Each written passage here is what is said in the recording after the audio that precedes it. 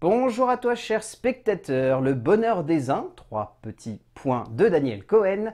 C'est un film qui m'intriguait parce que j'aime beaucoup le casting. Le casting en tête d'affiche de ce long métrage était très attirant. Euh, ça semblait assez prenant. C'était basé sur une pièce de théâtre et dernièrement j'ai la sensation que le cinéma français arrive plutôt bien à s'en sortir avec les petites adaptations de vaudeville sur grand écran. Donc je me suis dit pourquoi pas, ça pouvait être sympathique. Le résumé pour faire simple, Léa, Marc, Karine et Francis forment un groupe d'amis soudés depuis un bon petit moment coincés dans un quotidien qui semble leur convenir. Mais un jour, Léa annonce dans un dîner qu'elle est en train d'écrire un roman. Une annonce qui va changer le groupe. Je sais pas ce qui m'est passé par la tête en me disant que ça allait être sympathique. Euh, J'ai pas forcément un souci avec Daniel Cohen. Je trouve que précédents films sont jamais extraordinaires, mais c'est jamais des mauvais films. Mais alors là, on est sur l'exemple typique du vaudeville parisien qui est, euh, qui est lourd, quoi.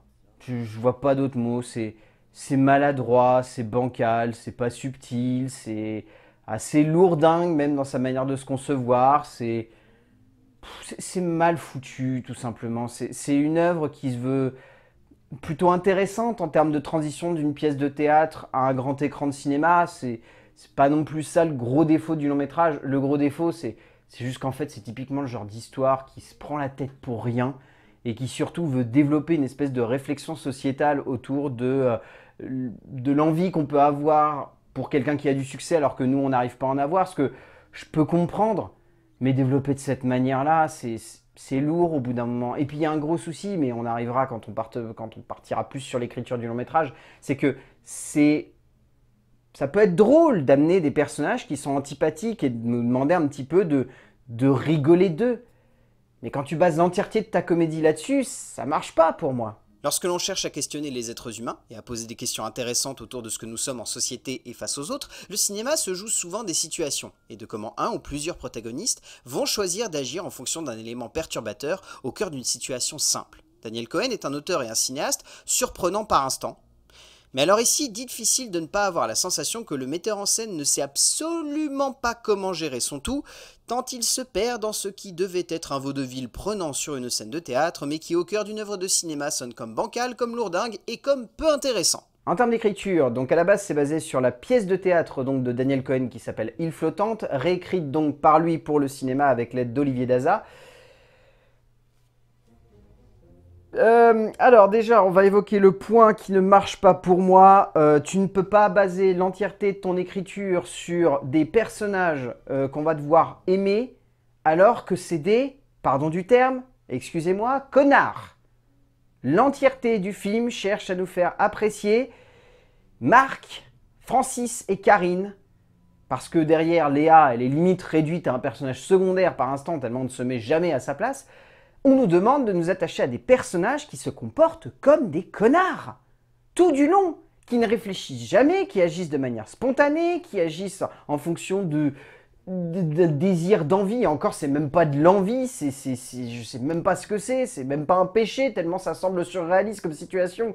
C'est, c'est, en fait, c'est très compliqué parce que derrière, on sent que c'est des thématiques qui veulent être abordées, qui sont présentes dans la société aujourd'hui. Cette idée que si quelqu'un a du succès, ben on se dit on va en avoir parce que c'est pas parce que lui que je connais depuis 10 ans qui se réveille et qui est capable d'écrire, ben moi je pourrais pas écrire. Et je peux comprendre ce genre de réflexion, c'est plutôt intéressant. Mais alors dans ce cas-là, il faut baser plus sur l'écriture, euh, sur cette idée que va, on va se dire qu'on a un talent alors qu'en fait on n'en a pas et, jouer sur un décalage des situations et pas là sur cette espèce de constante envie de vouloir montrer des personnages qui se comportent comme des connards. Je sais que j'arrête pas de dire ce mot, mais pour moi c'est assez synthétique de ça. On se retrouve devant une écriture qui est plate et qui ne fait pas rire. Et alors ça c'est le plus catastrophique, c'est qu'on est sur un vaudeville. Vaudeville ça fait rire normalement. J'ai ri à trois situations et les trois venaient du même personnage, celui de Francis, qui est le plus intéressant dans les trois. Parce que Francis, lui, est limite un petit peu crédule au milieu des deux autres qui sont littéralement des connards. Je crois que ça va être le mot du film, connard. Cohen, avec l'aide de Daza, cherche donc à questionner le changement au cœur d'un groupe d'amis, et par le biais de cela, le regard des proches sur l'autre, lorsque l'on est envieux et jaloux presque. Mais au fond, même si l'on voit cette forme dramatique et narrative qui peut sonner comme intéressante sur le papier, le tout sonne comme vain. Les personnages, comme évoqué avant, sont très antipathiques pour la plupart, pour ne pas dire presque tous, ce qui empêche du coup une pleine mise en relief de la thématique par rapport à l'autre dans la société et du jugement. Condensant simplement le récit à un ensemble de petites scénettes que les deux auteurs veulent rendre comiques, mais développent simplement comme des scènes gênantes. En termes de mise en scène, Daniel Cohen, filme pas non plus ça comme une pièce de théâtre. Hein. Il essaye un petit peu de dynamiser le récit. Je trouve que le montage, par exemple, est plutôt intéressant parce que le montage essaye de mettre pas mal en relief les, les transitions entre les différentes situations. Je trouve que là-dessus, ça s'en sort plutôt bien. Il y a un autre gros point fort. Euh, le réalisateur veut vraiment baser sa mise en scène sur faire ressortir les acteurs et à quel point les acteurs vont faire ressortir le côté antipathique de leur personnage. Ce qui est plutôt intéressant d'ailleurs parce que ça permet à certaines situations d'avoir on va dire, une temporalité qui devient très exiguë parce qu'on cherche à pousser le gag jusqu'à son extrême.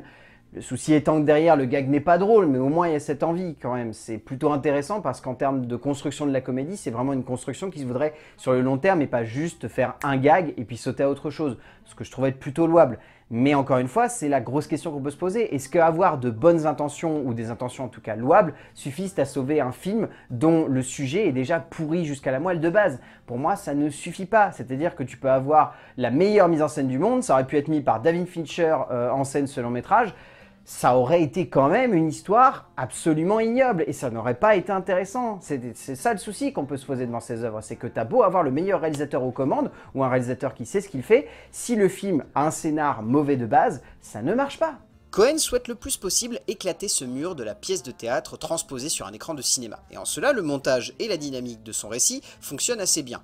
Et sont assez justement amenés au cœur d'une œuvre qui reste un poil longue et trop lourde d'un point de vue narratif pour parfaitement nous embarquer. Reste que malgré tout cela, on n'a pas non plus la sensation que le film soit trop long. Mais malgré tout, une bonne mise en scène, au service d'un sujet et d'une forme qui n'accroche pas, ne suffit pas à faire de cet étrange moment de cinéma une œuvre prenante et haletante. Et clairement, qu'on se le dise, le tout sonne du coup comme faux et maladroit. En termes de casting, Vincent Cassel, Florence Foresti, pour moi les deux ils fonctionnent pas. François Cassel, c'est parce que son personnage, il cherche vraiment trop à le rendre antipathique et du coup, lorsqu'il a des relents de bonté, ça ne tient pas la route et ça ne réussit pas à nous accrocher à son perso. Et Florence Foresti, elle pousse le curseur beaucoup trop loin. Euh, peut-être qu'elle joue trop bien, je ne sais pas, mais alors moi personnellement, j'ai trouvé que par instant, elle était too much.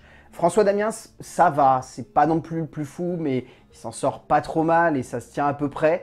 Euh, Daniel Cohen, qui joue lui-même un petit rôle. Euh, ça se tient, mais c'est pas non plus extraordinaire, mais on va dire que c'est le moins pire des personnages secondaires. Et heureusement qu'il y a l'actrice principale, enfin principale comme j'évoquais au début, elle est plus relayée à un rôle secondaire par moment, mais bon, elle reste l'actrice principale qui est là parce que sinon le film aurait été vraiment une catastrophe. Heureusement que Bérénice Bejo est là pour apporter un peu de douceur à ce tout, car sinon l'ensemble du casting est en roue libre, faisant un peu n'importe quoi, mais elle, elle apporte une vraie subtilité à ce tout.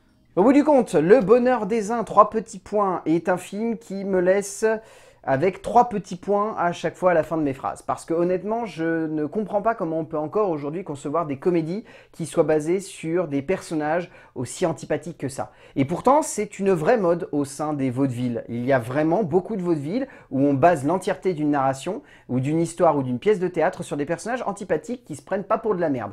Ça peut être intéressant sur une scène de théâtre parce qu'il y a une certaine proximité avec les spectateurs qui font que on peut créer un certain attachement quand même parce que les acteurs sont réellement sur mais alors au cinéma, ça ne fonctionne absolument pas. Et qui plus est, lorsque c'est mal écrit comme ça, ça ne marche pas. Donc tu as beau avoir les meilleurs acteurs du monde et le meilleur réalisateur derrière, le bonheur des uns, trois petits points de Daniel Cohen reste pour moi une œuvre qui ne marche absolument pas, qui est mauvaise, qui n'est pas intéressante et qui me laisse de marbre. Donc vous l'aurez compris, allez le plus loin possible de ce film. A plus